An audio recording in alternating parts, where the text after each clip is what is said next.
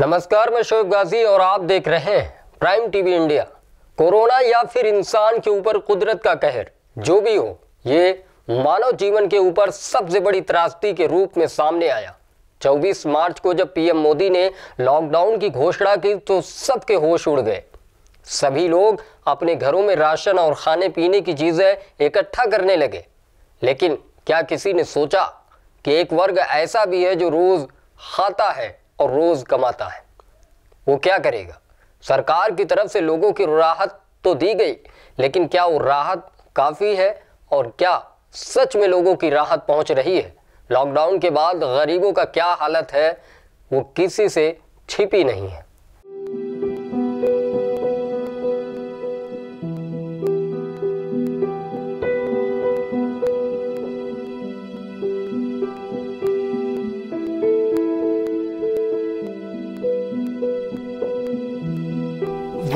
का कोई धर्म नहीं होता साहिब। ये ना जात देखती है और ना पात सड़क पर दिख रहा ये वर्ग रोजी रोटी के लिए शहर गया था। लेकिन उसे क्या पता था जिस शहर में वो रोजी रोटी कमाने जाएगा, एक दिन उसी शहर में उसे दो जून की रोटी नसीब नहीं होगी। लॉकडाउन के आदेश के बाद दिहाड़ी मजदूरों की क्या हालत होगी, ये किसी ने नहीं सोचा। जिनके पास पैसे थे जो अपने घरों में थे, उन्होंने तो इसे सही कदम समझा और पीएम के इस आदेश की सराहना की। लेकिन एक वर्ग ऐसा था जो भूखा सो रहा था। हज़ारों किलोमीटर पैदल चल रहा था। बस उसके मन में एक ही चीज़ थी कि, हे भगवान, मैं घर पहुँच जाऊँ। जो लोग रोड पर कई सौ किलोमीटर पैदल चल रहे थे, उन लोगों को जहाँ खाना दिखा, उनके कदम वहीं रुक गए। साधन है ना कुछ है बस यही खाना मिल रहा है। जो मिल रहा है सुख रूख वही खाते पीते अपना पैर दर्द करते चलते हैं। क्या करें? कैसे चले? और कहाँ बच्चन के लिए जाई के कर- जियाई वहीं कुछ लोग ऐसे मिले जो रूखा सूखा खाकर अपनी ज़िंदगी गुजार रहे हैं। क्या लॉकडाउन किस तरीके से पालन कर रही हैं आप? हम तो भैया कुछ भी नहीं है हमारे पास खाने को। हम तो लैया चना खा के अपना टाइम बिता रहे हैं। क्या करें? पैसे कौड़ी है नहीं ना कोई सुविधा है हमारे पास।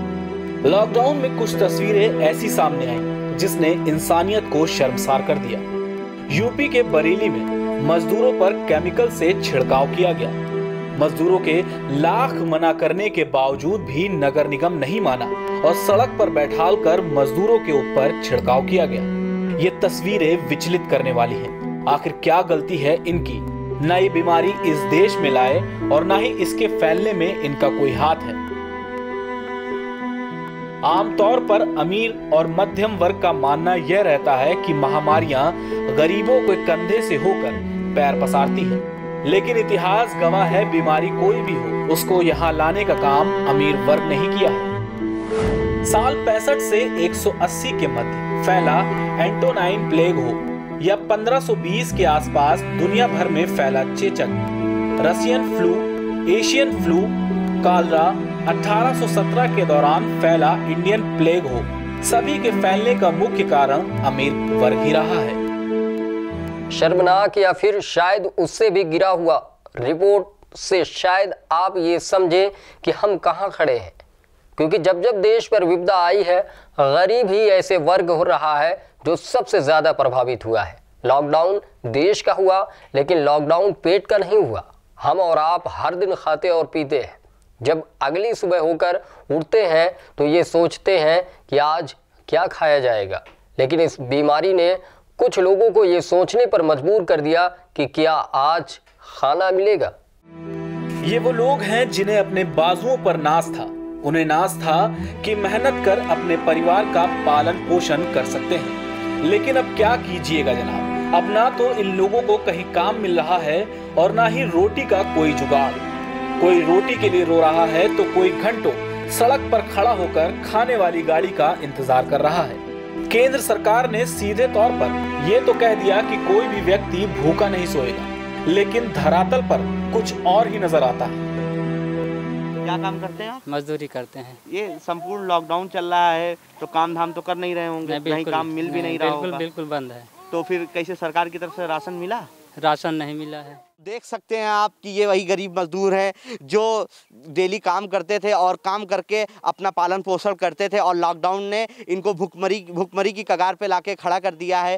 कोरोना नहीं, हालाँकि इनको भुखमरी ज़रूर मार डालेगी। सरकार के जो दावे हैं वो फेल होते नज़र आ रहे हैं और ऐसे में सबसे बड़ा सवाल जो प्राइवेट संस्था जो खाना बांटती थी, उनको भी सरकार ने मना कर दिया है। अब देखते हैं सरकार इस तरफ़ कब ध्यान केंद्रित करती है। जिस देश का बचपन भूखा है, उस देश की जवानी क्या होगी ये शेर ये बताने में काफ़ी है कि भारत में भूखमरी किस हद तक है?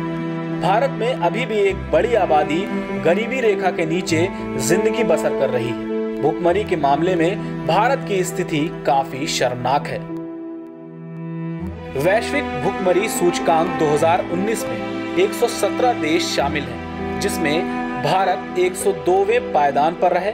वहीं पड़ोसी देश पाकिस्तान चौरानवे बांग्लादेश अट्ठासीवें, नेपाल तिहत्तरवें और श्रीलंका छाछठवें पायदान पर है। ये आंकड़े काफ़ी हैं ये बताने के लिए कि भारत की स्थिति क्या है। हालाँकि सरकार काफ़ी काम कर रही है, जिससे भारत की स्थिति में सुधार आ सके। अब जब इस तरह की बीमारी देश के सामने खड़ी है तो सरकार के सामने सबसे बड़ी चुनौती ये है कि जिनके पास राशन और खाने पीने की चीज़ नहीं है, उन्हें सरकार सभी चीज़ें मुहैया करा सके। ताकि हमारे देश में कोई भी व्यक्ति भूखा ना सोए। Output desk prime TV India.